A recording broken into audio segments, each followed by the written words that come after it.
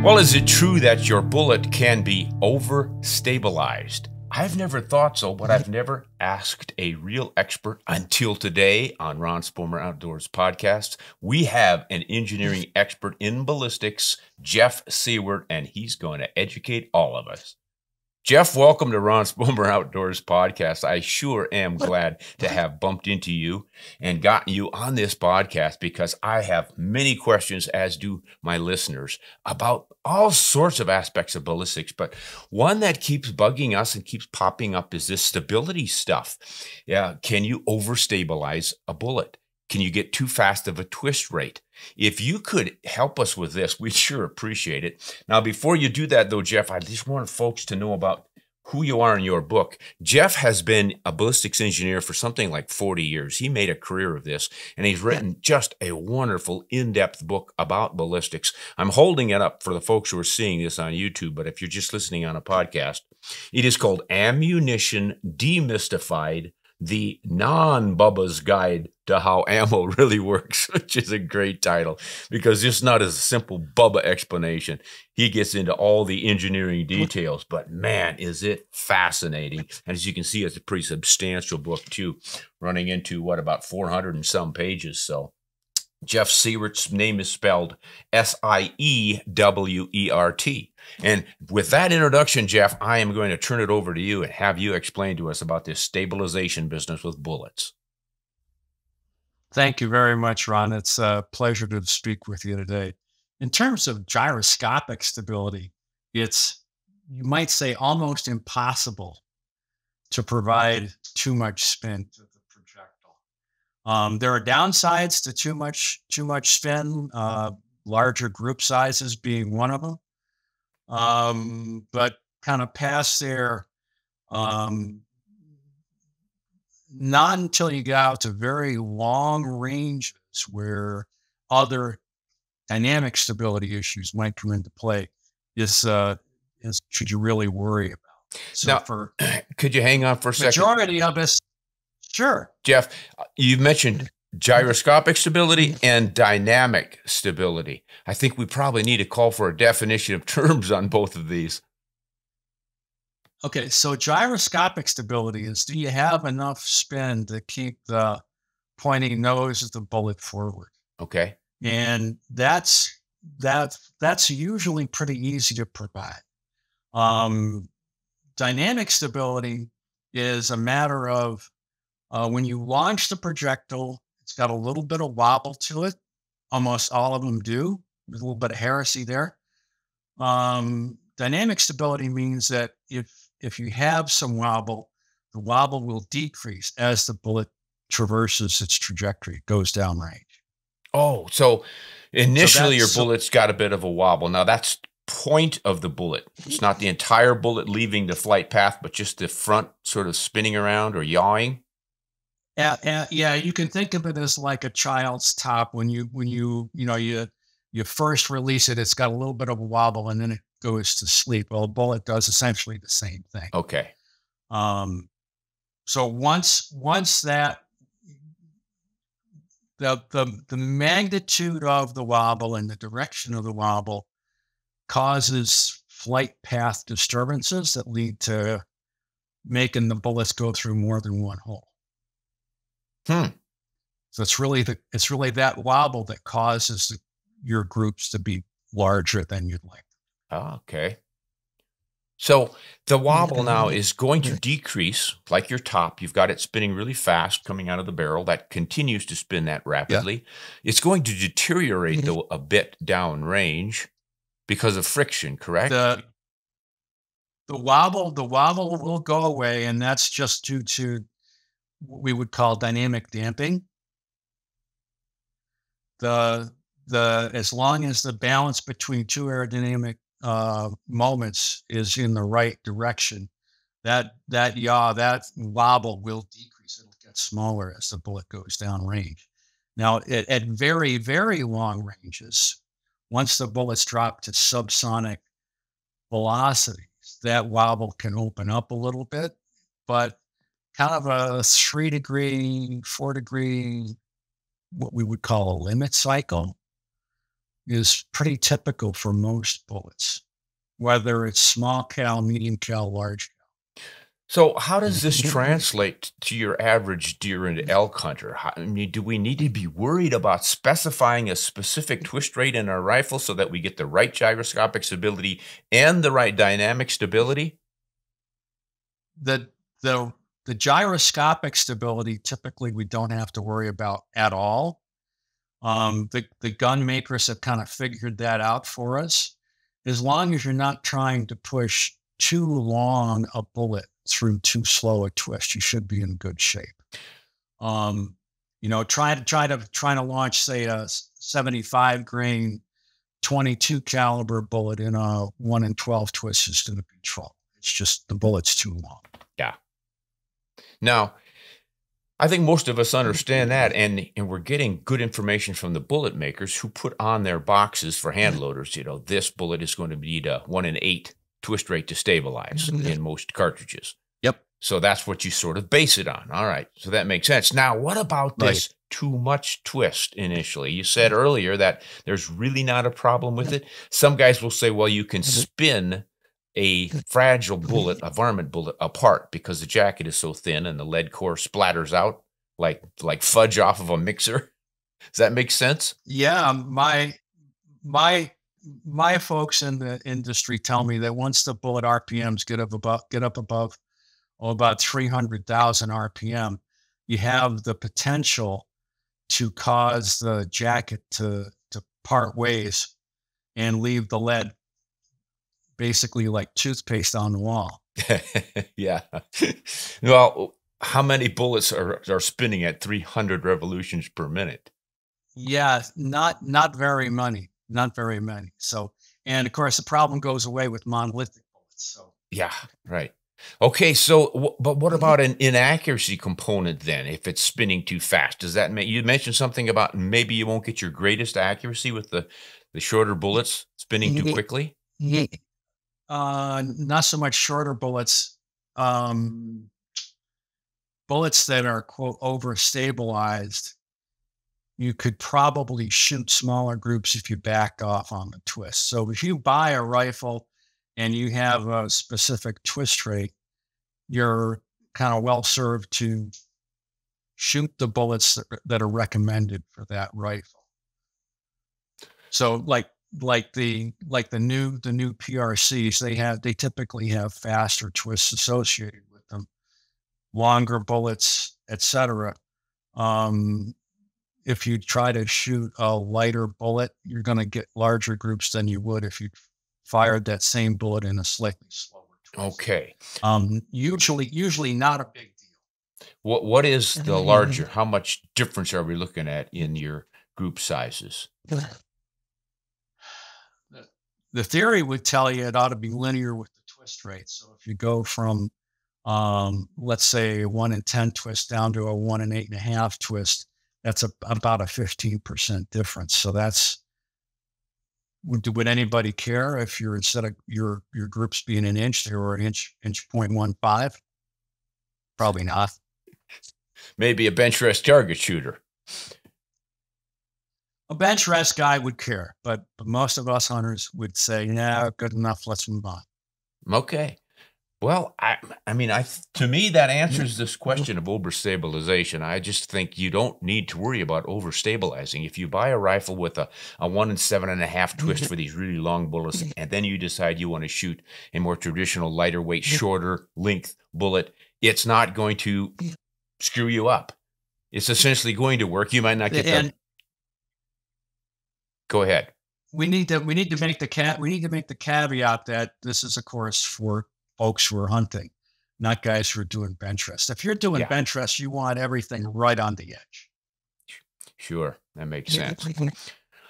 Okay, now the dynamic stability, I think I need a little bit more information on that. That is referencing the bullet going through the sub subsonic transition range. So your, your bullet is flying faster than about a thousand feet per second. Um, when it breaks underneath that, there's a transition, and then you've got some issues with stability? Yes, there's a there's a thing that the engineers call a Magnus moment that that the Magnus force center pressure can move quite rapidly with angle of attack, with changes in angle of attack at the subsonic Mach numbers, and that causes dynamic stability troubles. Oh, um, now I'm going to so, have to. I'm going to have to interrupt again, Jeff, for another definition of sure. terms. Moment. Um, when I think of a moment, I think of in the moment. We are talking right now in the moment. It doesn't sound like your moment is the same moment as mine, and your angle of attack, I think, might need a little explanation too. Yes. So so if this is my bullet, okay, I I this is the center of gravity where I'm pinching it. But right in the middle the of the case. Acts, yeah, the, the moment acts either forward of that of the center of gravity or aft of it. Well, then, what is your mm-hmm. definition of moment? It's the force times the distance from the projectile center of gravity. So, in engineering terms, a moment is a force. It's a torque. It's, okay. it's a torque. All right. It's a torque. So now, now I think I'm getting closer torque. to understanding. so you may okay. continue for us dumb kids in the back of the room. okay. Um. So, so what happens is that Magnus moment, uh, the, the Magnus force center pressure moves to the back end of the bullet and it causes the bullet to be dynamically unstable. So that means the bullet flies with a little bit of a persistent wobble. Mm-hmm. And what one bullet does, the next one will do to, you know, kind of a very small difference. Say the say the average uh, limit cycle dynamic instability is on the order of three degrees. Well, all of them will do that to plus or minus a couple tenths of Mm-hmm. So it's not from an accuracy or group size standpoint, it's not a whole lot to worry about. Okay. And and every bullet, every bullet that drops to the subsonic velocity regime will experience that dynamic instability. Mm-hmm. And it's one of the it's it's one of the real problems with the things like the 300 blackout where you launch the thing subsonically. Mm-hmm. It's uh, kind of a you, you you can't avoid the problem. Mm. So the wobble is happening again at the point of the bullet, not at the base. The center of gravity is sort of in the middle of the bullet, but a little shifted behind, especially if you have a long secant ogive. You have less weight in the yep. front of the bullet. So the heavier weight mm-hmm. at the back of the bullet wants to kind of make it tumble. It wants to go first. Is that correct? You know, yes, and the spin prevents that. That's yeah. that's that's really the gyroscopic stability part. The yeah. the dynamic stability part involves other aerodynamic forces and moments. Okay, well, you know, it seems to me that most shooters, hunters, see an oblong mm. hole in the paper and they freak out. This bullet is not being stabilized. Do I need a faster twist barrel? What's going on? Is it possible to get less than a perfect circle in a target? The answer is if you're close to the piece of paper, yes. If you're downrange at a considerable distance, pretty unlikely unless you're at a range where the bullet has in fact dropped to subsonic velocity levels. So at that point, the oblong hole would be pretty typical to see, but not a whole lot of like if you're seeing a sideways imprint in the paper, you you probably hit the ground or some other object before you got to the got to the target. Yeah. But well, so what's your idea of long range? I mean, far enough to have stabilized. You've got your initial wobble coming out of the barrel till it settles down. When does that settling yep. occur? That that settling should be for most. I'm just thinking a little bit here for most rifle type bullets, that wobbling should be over by 100 yards. Okay, so you could expect it should be under un, it should be it should be under 1 degree. Okay. So then you, you ought to be expecting on your 100 yard target nice round holes. Yeah, and and it, and people need to know that if you slant the target, slant the paper a little bit, you're going to ah, get oblong holes. Yeah, good point. Yes, I'm sure some of that happens. Lord knows we've not gotten absolutely. our targets squared up to our shooting position. Yeah, absolutely, absolutely. Yeah. Oh, that's, that's great stuff. Now, the, I'm glad we're doing this this engineering Mm-hmm. speak because I, when I read a lot of this stuff, I, I'll see these terms and I'll wonder what they mean. Like the moment that we just covered a moment ago, it's a whole different word in the engineering world than it is Right. in the English professor's world. So those definitions are important. Could you help me a little bit then with the yaw definition? I've seen yaw applied, nodding, precessions, different things. Can you kind of describe what Um, those are?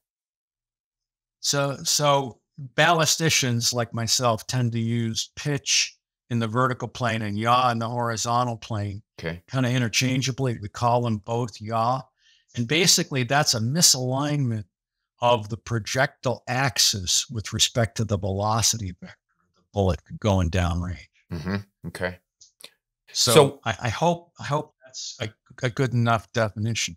No, it's working for me. I you know I can't guarantee everyone is getting it, but Good. if I'm trying to Good. picture it in my mind here, then you you've got your bullet with its sharp point pointing forward. That's the Yep. downrange vector, That's correct. and then the tip and of the then the bullet nose is wobbles.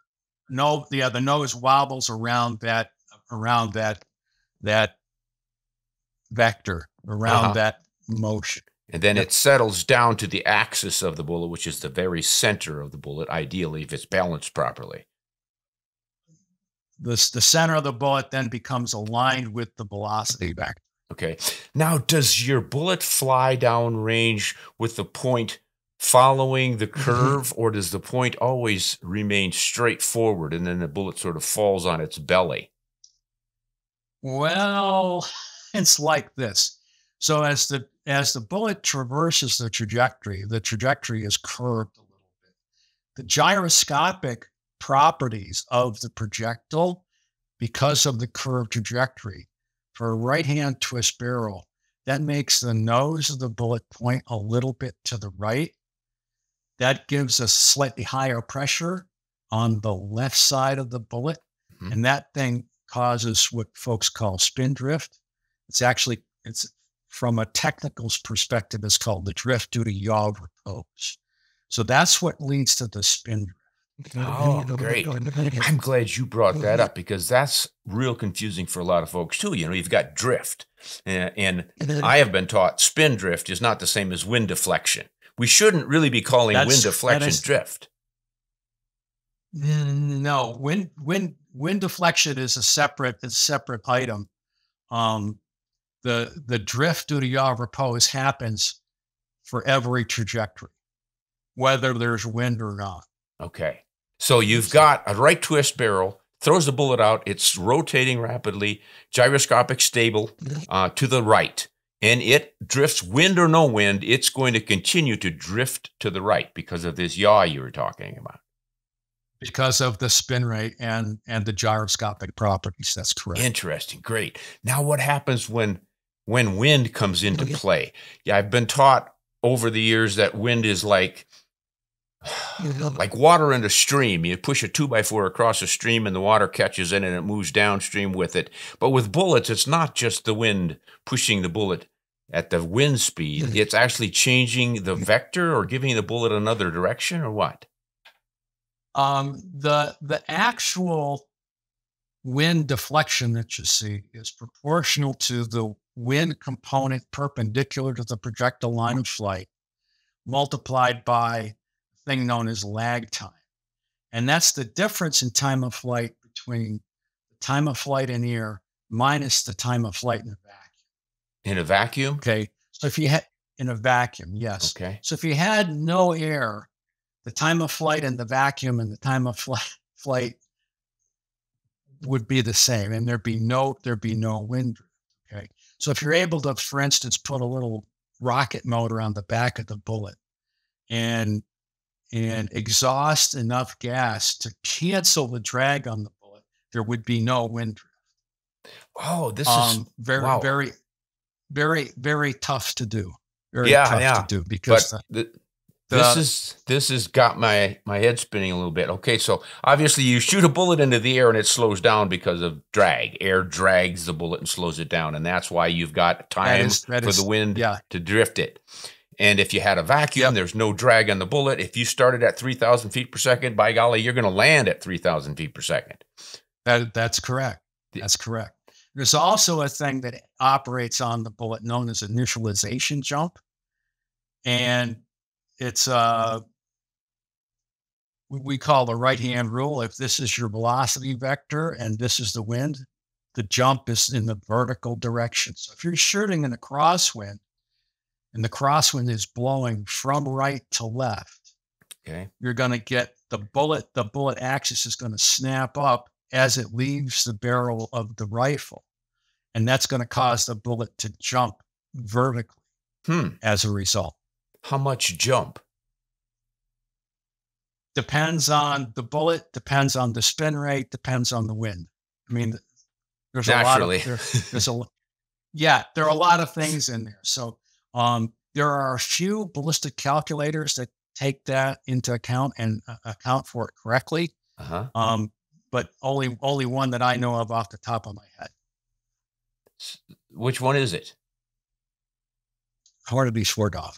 That's what I thought was going to be Hornady 4DOF. Yeah, yeah, that's really a more mm-hmm. advanced than most that you find, so it's worth looking into, guys. Now, how much are we looking at though? If your bullet leaves the barrel, it's got that little initial jump from that crosswind.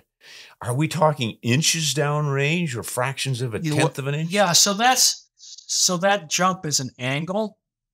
And so if it's, let's just pick some numbers. If it's an inch at 100 yards, it's going to be 10 inches at a 1,000. Okay, sure, that makes sense. Okay. So, so yeah, that's, um, it's, it's, if you're, if you're the bench rest guy, you have to worry about that stuff. If you're the hunter and you're trying to take game at extended distances, that jump might put you outside the vitals. Wow. So just just saying. Yeah, well, and that's an important thing to say because there's a lot of guys who just say, "Well, look, my, my rifle is dead nuts accurate. I've got a it shoots a quarter MOA, and I've got it zeroed just the way I want it, so I know what my ballistic drop tables are. I can guarantee a hit at 800 yards." But they didn't uh, consider what happens with that jump based on a 20 mile an hour right angle wind, right? Yes. Yes. And they may be pretty good at reading the wind, but they have they will have to take into account that that that jump in the vertical direction in order to put a bullet where they want it. Yeah, see, that's something we almost never hear about. Maybe the guys who are just really into the long range shooting are, are calculating it, but uh, and, and, maybe they maybe they maybe they've already got it dialed in. I don't know. I, I yeah, I would imagine they, no, they probably I, I, I I'm just starting to play in the long range game here as a retiree. So. Uh huh. Wow, that's really fascinating stuff. Now, I don't want to dwell on the, this bullet stability and downrange flight stuff exclusively here because, mm-hmm. gosh, you've obviously got a lot more information in this book about different aspects of ballistics. And I know one of them, when you start right off, you can you can get right down to the primer or the case itself and really dig into it and find out that those can shoot contribute a lot to internal as well mm-hmm. as eventually external ballistics in getting your bullets started. Mm-hmm. Would you care to talk a little bit about the significance of the case itself?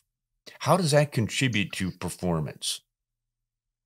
Yeah, so the cartridge case itself, there, there are a couple of facets to that. And the, kind of the, the first one that we would really pick on is the variation in, say, internal volume.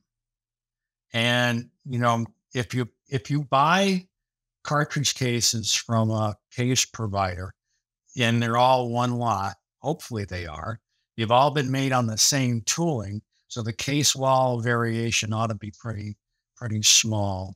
Where the variation really comes in is the is the the the web, essentially the the the difference in distance between the base of the cartridge case in the base of the internal cavity. So changes in that dimension can change the internal volume of the cartridge case. And those changes in internal volume can um, change the muzzle velocity, cause variability in the muzzle velocity. Mm-hmm. Um, so, so, but, but again, from lot to lot, which is why you don't want to mix lots. From lot to lot, there there may be a bias in because somebody's changed the tooling.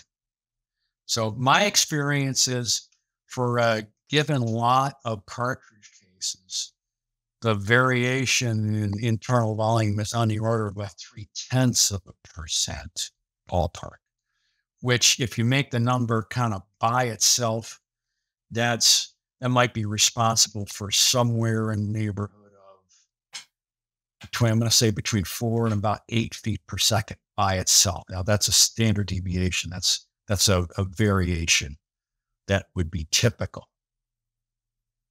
Yeah, it sounds like that's not something that a hunter needs to worry about.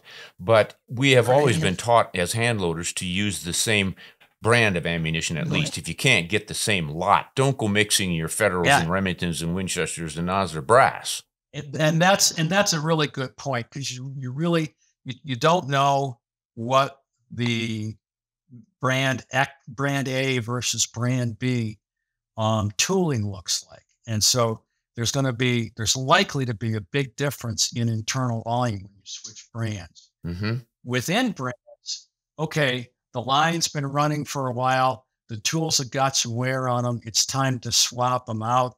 And and where you're going to see the big difference is from one set of tooling to the next set. That's where you're going to see the big.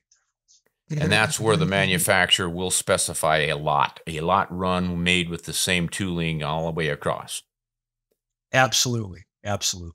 They, but, I mean, they're for the military. For the military, they're aligning rules. I don't know. I have no idea what the commercial guys follow for practice. Yeah. Yes. Well, what about this idea of weighing your cases so that you get roughly the same internal volume? Is that worth the effort?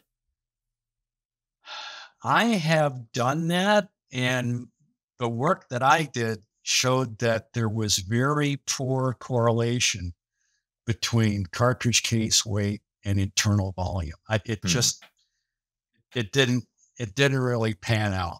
It didn't really pan out. It was a nice idea, and and there, you know, on let me just say that on probably on large samples of of cartridge cases, there's some correlation there. But on the couple of hundred that you're going to get for you know you buy you buy a couple of bags of brass you're probably not going to see very good correlation. Okay. Jeff, I've got a, a question about the cartridge material itself. You know, people say, can I use nickel coated cases? Can I use mm-hmm. aluminum cases, steel? There's just all sorts mm-hmm. of options out there. How significant are those? I think it depends on what it is you're concerned about. For instance, if, you know, the gun designers worry about four or five different things when it comes to ammunition firearm interface. They worry about what's the peak bolt load. If it's a lock breech gun, if it's a blowback gun, they worry about net load versus time. We'll talk about that in a minute.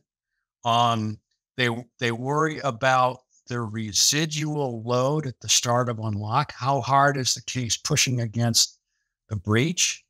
Uh, they worry about the um, a load when it comes to extract? Do you have enough energy to, to, to pull the thing out? Um, the cases, different case materials behave differently. And, you know, over the years, I've looked at um, brass cartridge cases, aluminum cartridge cases, steel cartridge cases, uh, composite polymer in other materials. Mm-hmm. So I've I've looked at I've looked at a kind of a wide range of things over the years. And if I had to pick one that was particularly good for my firearm, I'd pick aluminum probably. Brass is mm-hmm. another good option. Brass has been used forever for, you know, a lot of good reasons. Um it's it's it's reliable, it's robust. The the the the the only drawback to brass is you get you can get a thing known as stress corrosion cracking in brass if if you have residual stresses in the in the brass case that are too high. Um, the nitrogen atmosphere inside the cartridge case from propellant off gassing can cause splits in the cartridge case, and the splits can run partway through the case wall and then when you fire it, it splits the rest of the way. Every anytime you've seen a cartridge case with a longitudinal split in it. That longitudinal split's due to stress corrosion crack. Hmm. Yeah, I've seen it a few times, but I had no idea why it would happen. Yeah, and it's it's covered in the book. It's covered in the book. Um, stress corrosion cracking has been around or been known of for a lot of years, and it's just one of the it's it's one of the downsides with brass. You know, high weight. It's one of the reasons yeah. the military is trying to get away from. So, and it seems to me that's a difficult thing to spot since it sounds like it's internal. The cracking starts inside the case. Yeah, exactly. You can't you you won't be able to know there's a problem until after you've fired the case. Wow. And but Jet, the good news is generally speaking, when those splits occur, they occur kind of mid of the mid of the case body main taper and forward. Mm-hmm. And usually those don't vent to the atmosphere and they don't cause they don't cause any gas wash. They usually don't harm the firearm at all. Yeah. Mm-hmm. Yeah. The times I've experienced it, it, it, was a surprise when you brought the case out. What, what's this? Because we didn't hear anything goofy. It didn't see any kickback of gases or anything. So it was safe. Right. Right. Yeah. Right. So right. It, is there kind of a standard for hand loaders? Like if you've loaded a case to, let's say, a full house load, pretty high pressure, and you know, safe levels, but still it's not a light load. Can you get five, eight, ten, twelve loadings before you need to be concerned about this potential cracking? Or should you just go until you see the crack and throw it away? Well, you might see other cracks beforehand. So, so cartridge cases, particularly metallic, we're going to focus on metallic cartridge cases for the moment. Um, when the pressure comes up in the, in those cartridge cases, they contact the wall, and there's load transfer that happens between the case wall and the chamber in friction through that interface. And that that contact pressure can relieve pretty close to about half of the aft thrust that would normally be applied to the bolt. So if you lubricate your cartridge cases, you're gonna you're gonna make a gonna have a big increase in in aft thrust as a result of that. um, so that's why with, if you're a reloader, you need to get your cartridge cases kind of scrupulously cleaned. Um, mm-hmm. you won't you won't break it on the next shot, but you don't want to feed your rifle a steady diet of that. Right. That's putting pressure on your locking lugs and your bolt. Your bolt facing locking lugs, that's, and that's and and and and the receiver if that's what the or lock extension depending on how the rifle's set up. Sure.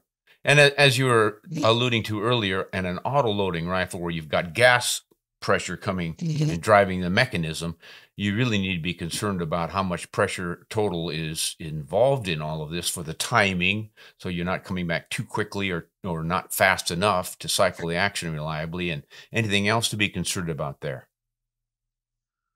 Um, the the the the pressure at the gas port is really what drives the timing, and that's that's kind of more uh, a function of what bullet weight, what propellant, and the location of the gas port. So there there's there's probably an optimum location for the gas port. I mean, every time the bullet goes by, you bleed a little bit of gas into a little reservoir up up you know closer to the muzzle. Well, your normal shot to shot variation in pressure means that unless you put the port at exactly the right location, there's going to be variation in pressure bled into that into that little reservoir. Sure. Um, the play the, the optimum spot for that is just about where the propellant burns out. Where does the propellant burn out? Well, that changes based on the bullet weight and the powder that you use, along sure. with a couple other a couple other things like the, the internal volume of the cartridge. So, I mean, I, I guess what I'm driving at is if you put a gas port in a specific location for 30 six, you're going to have a different optimum location for a 308. Mm-hmm. Now, if you and the, the gun makers don't like to change stuff, so Yeah, right. Well, if you buy, say, an auto loading 30 mm-hmm. 6 and you've got the, the hole in wherever they put it, I mean, you don't have any option there, and it's been optimized for uh, 150 grain, and you decide you want to shoot a 220 grain, and you're going to be using a slower burning powder, is that going to get you in trouble? Or can that rifle? I don't think it? it's going to. I don't think it's going to get you in, into trouble. Uh, not anytime soon, anyway. so just, there's a bit of tolerance involved in that yeah, there's going to be there's going to be likely with a 220 grain bullet, you're going to. I'm just thinking here a little bit. Uh, you're probably going to see somewhat lower pressures at the port than you would mm-hmm. with a lighter bullet, and you may, but you may see more variability. I haven't made the numbers on that, so I can't, can't yeah. really speak to that. but it, um, it doesn't sound like it's anything that your average hunter needs to worry about with his auto loading rifle. Just, just be aware that if you see variability in how, let's just say, vigorously the action cycles, that may be the that may be the cause. Yeah, because I know guys who shoot the Garand World War II mm-hmm. military rifle 30 six. Uh, are concerned yep. about using high pressure loads because it can bend the rod or something. Does that sound like something you're familiar yeah, with? so I, I well, for a couple of reasons, I think that's not a big factor. The first of which is the port on the Garand is almost at the muzzle of the gun. Oh. And so, you know, the, the, the pressures are about as low as they could be at that location. So I, I, I don't it would be a, a, you know M1A kind of kind of rifle that would really make me worry. You know, where the port's mm-hmm. closer to the chamber. You know, this is an interesting aspect of all of these things. We can get into the fine details and they're wonderfully fun to know. And you can sometimes mm-hmm. apply those to improve your shooting, your your accuracy, which you call in your book dispersion. You don't like the word accuracy, and we're going to get to that here in a I, second. Well, but I think I think as hunt as hunters and common gun owners, uh, we we sometimes fret a little bit too much about all of this stuff when really the manufacturers have figured it pretty much figured it all out. They're not producing products that are going to blow up on you if you use the right materials, the right mm-hmm. ammo, the right rifle, and everything. You don't you don't fool around, mess around, change things up. It's probably all going to work just fine and generally that is correct. That is generally, correct. it's well, just when Bubba so, decides he's good. Yeah. So, so I mean, one of the, you know, for 40 years, I made my living um, helping to troubleshoot ammunition, and so yeah, uh-huh. the I, I I would have to say the vast majority of issues have been with what what gun writers, et cetera, your average hunter would call accuracy. It's it's really the group size problems. Uh huh. So, um, yeah. So for me, accuracy is how close is your average point of impact relative to your aim point. Mm-hmm. It's not group. Size. Group size is a different thing. I, we call that dispersion. Dispersion. So from your aim point where you want your bullet to land, dead center, it dis- yep. there's a dispersion to the left to the right, up and down, and then the diameter of that is your group size. And we can talk about what the metrics ought to be too. I mean, lots of folks use extreme spread. I am not a fan of extreme spread for a lot of reasons. Care to elaborate? Well, yeah. So extreme spread is extreme. Okay. You're you're really very vulnerable to having flyers skew the problem. You're better served, I think, doing some statistics on it and and using that information to to proceed, particularly if you're doing load development or site in or any, or something mm-hmm. like that. Um, a, a little bit of math goes a long way. That's where I'm in trouble. a little bit of math is about all I can handle. uh, so how would someone how would someone like me go about this? I want to develop a good hunting load for my let's say a 270 Winchester. Um, yeah, yeah. If I'm going by extreme spread, the the good old standard, wow, you know, I've got a one MOA. That's great. That's all I need. How would you get a more accurate depiction of what mm-hmm. your rifle's potential is for dropping your bullet on the target every time? Okay, so one of the things that I do, uh, and we talking hand loaders, we talking factory ammo, which which which. Oh gosh, we could go anyway. You pick it. Okay, so let's say we're doing low development. So we, what I do is I start with a recipe book, and I go to Hornady or Barnes or or Sierra's, eh, whoever's bullet I'm using. That's what reloading manual is is being employed and I mm-hmm. go to the bullet weight, the bullet weight that's being used and the cartridge that's being used, and I'll go down through the list of powders, and I'll I'll pick, I'll if it's if if I have powder available, which is a whole nother problem, and now what I'll do is I'll go down through each of those powders and take take the difference between the highest velocity and the lowest velocity for each of those powders and then divide that by the difference in charge weight. And I'll pick the I'll pick the powder that has the lowest sensitivity to changes in charge weight because when I load the cartridges, even if I trickle them, there's going to be minute variations cartridge to cartridge, cartridge in charge weight. So if I pick if I pick the powder that gives me the least sensitivity, I've I've made that error source the smallest I can make. Okay. So f- from there, I'll, I'll worry about, you know, playing the charge weight, the charge weight game. Sometimes I'll do a ladder test. If I do a ladder test, I'm not looking for velocity flat spots with one shot. I just, those I don't think are particularly useful.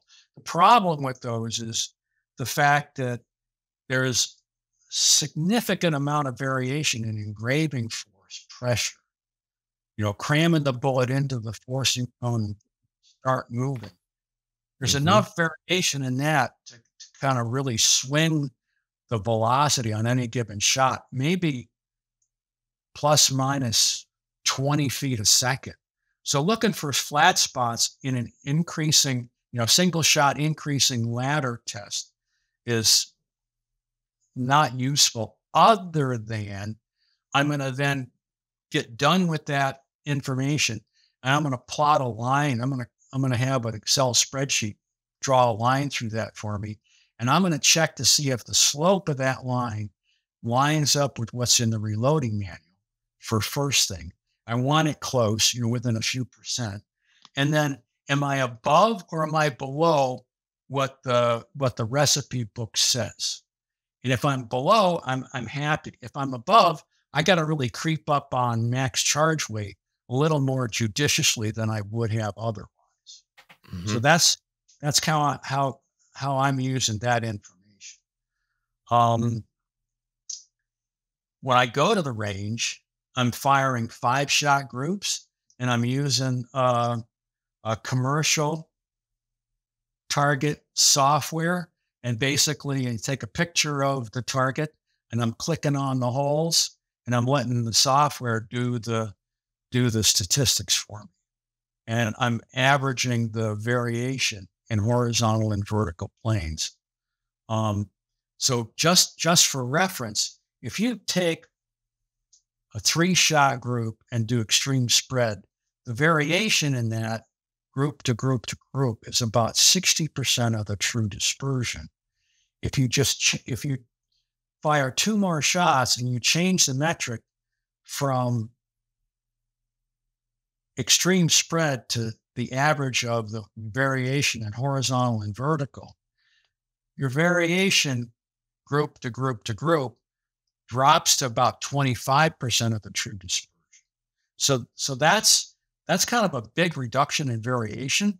And so that's one of the reasons that I use this, the average of the standard deviation in vertical and horizontal. And that's mm-hmm. something that the software, the software will help you. Now, what software is that? This. Sorry, I'm using on target software. Mm-hmm. That's that's the brand name. and I've been pretty Okay. happy. Yeah. Do you think uh, for your your average hunter who's looking uh, or is satisfied with a one MOA rifle, he's he's measuring his group size. It generally drops three in a row inside of a minute of angle. He rarely shoots at any deer more than three times anyway. Um, he's consistent on his first shot out of a cold barrel, and it's pretty much to the same point out of a warm barrel. So he's happy. Is it worth his trouble to do your approach to this precision in his rifle?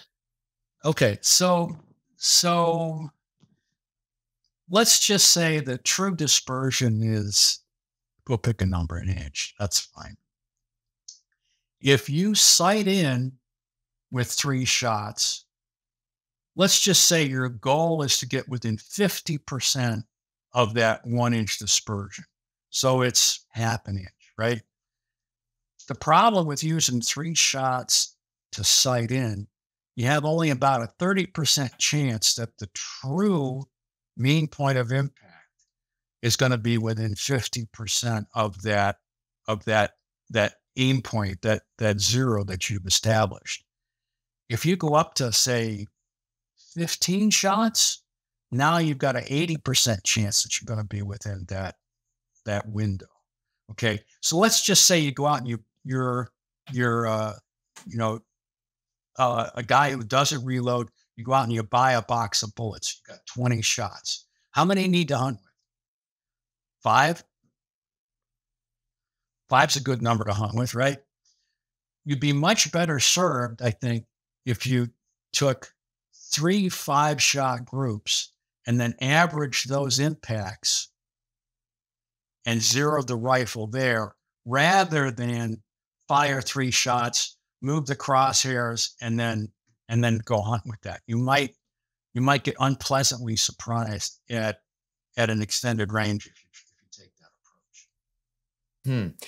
I, I see what you're saying. You're going to get quite a bit of kickback these days, given the cost of ammunition and the you just where do you find it? You know, too many guys are saying I, I could only find one box of ammo. I'm not going to shoot 15 cartridges up and then go for the rest of the deer season.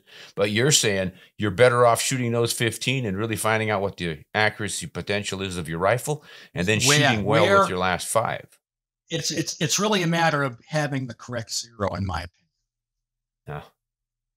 It's really a matter of having the correct zero. So if Mhm. if if you spend those 15 shots find finding the true zero within within 80%, 80% chance of finding the true zero, then then you're I think you're probably better off. Mhm. Okay. Well, that that'll be a hard one for a lot of us to swallow. Well, a little, little bit of heresy. A little bit of heresy. yeah. Well, that's kind of your job, you know. You're trying to shake things up and but you're doing it accurately with all of your your science and, and your engineering. I mean, it can't pretty hard to argue with those sorts of statistics if you can understand them, which I don't always understand fully. But I'm always trying to bring this information back to the what I call the real world, the average hunter, whether it's uh, you know for small varmints or or large moose and elk. Um, we all want to make clean shots, clean kills, we like to call it, and Yep. we like to with within our budgets uh, get Mhm. the get and or build the right tools, rifle, scope, ammo, bullet, hand loads, however we're doing it. Uh, we we want to do the best we can if we can afford it.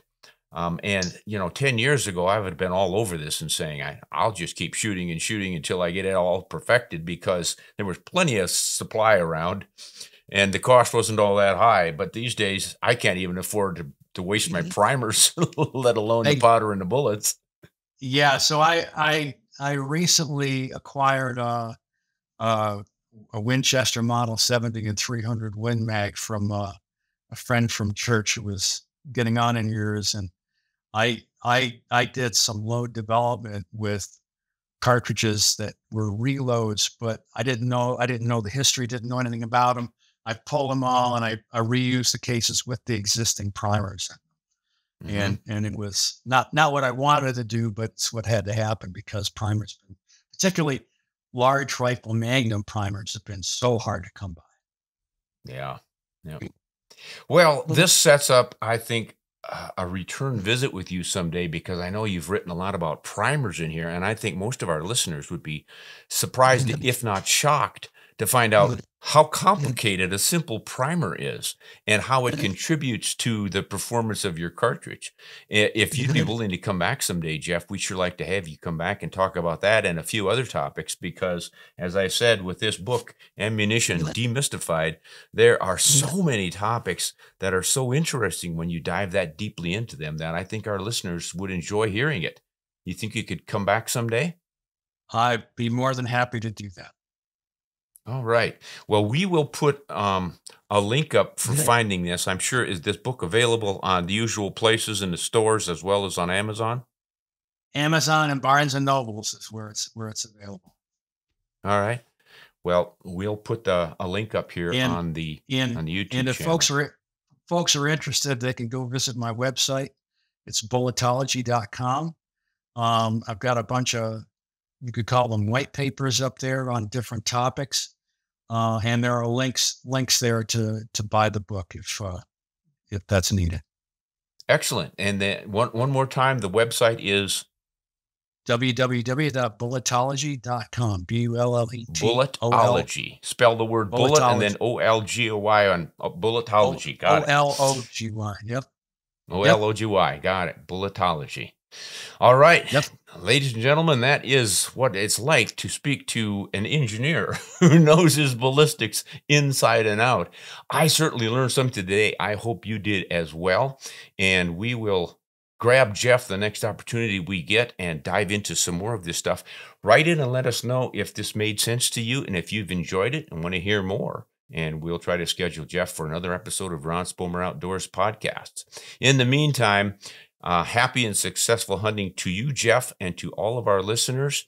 Keep those uh, comments coming in and let us know what you think. Until next time, this is Ron Spomer. Hunt honest and shoot straight.